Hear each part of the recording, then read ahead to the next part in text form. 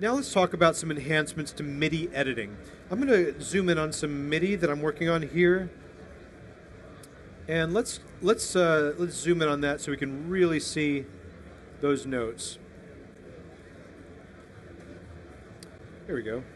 Okay, so as of DP 10.0, uh, Motu has added the ability to see the actual notes written in there which makes it even faster to navigate around the MIDI editor and the sequence editor, which uses this, this view.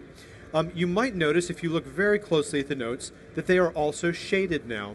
Sh the shading corresponds to velocity. So you can see that this B3 right in the middle of my screen, it's about 60% loud on the scale of 1 to 127. And that's another bit of visual feedback. You can see that this one, which is you know 90% loud, is actually a darker red. So you have multiple ways to look at your velocity. And as of 10.1, you have another way, and that's down here in your velocity layer. Um, now, no longer are we looking at those tiny two pixel by two pixel chiclets that are almost impossible to grab. Now we have lines that show in a bright and visual way exactly how loud that note is and how long it lasts. So you can see its, its duration, you can see where notes overlap. So a very useful thing. Now that brings me to a brand new tool that's new to DP 10.1, and that is the Velocity tool. If you look up here in my um, in my toolbar, uh, you may or may not be familiar with some of these tools, and I'm going to go through a few of them today. But the Velocity tool is this new one right here.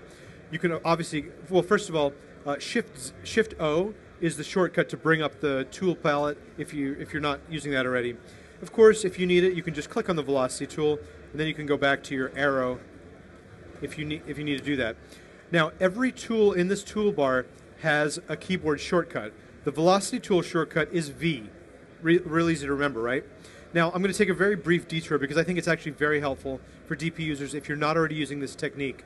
If you simply wanted to select the velocity tool, for example, um, and you wanted to just move to the velocity tool to do some extensive work, the easiest way to do that is to double tap the key that you want. So if I double tap V,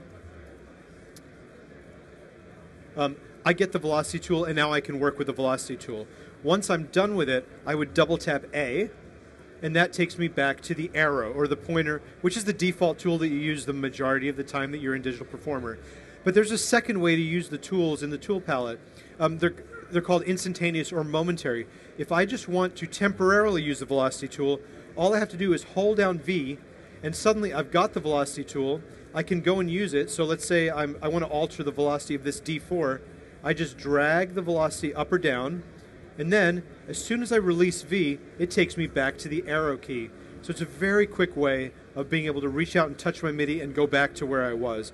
The velocity tool also works with phrases. So for example, if, I, if there was this entire phrase of MIDI and I needed to adjust it, I can just hold down V, grab one note, drag down or up, and you can see that every note in that MIDI phrase is being adjusted proportionally. So it's a very easy way. Reach out and, and edit that one phrase, and then I release the V key, I'm back at the arrow tool, and I can continue on my work. There's another new tool right next to it in the toolbar, and that is the hand tool. The hand tool shortcut is H. Again, real easy to remember. And it is a, a scrolling tool. If I hold down H, now I can move around this window very easily. I release H and I'm ready to continue work.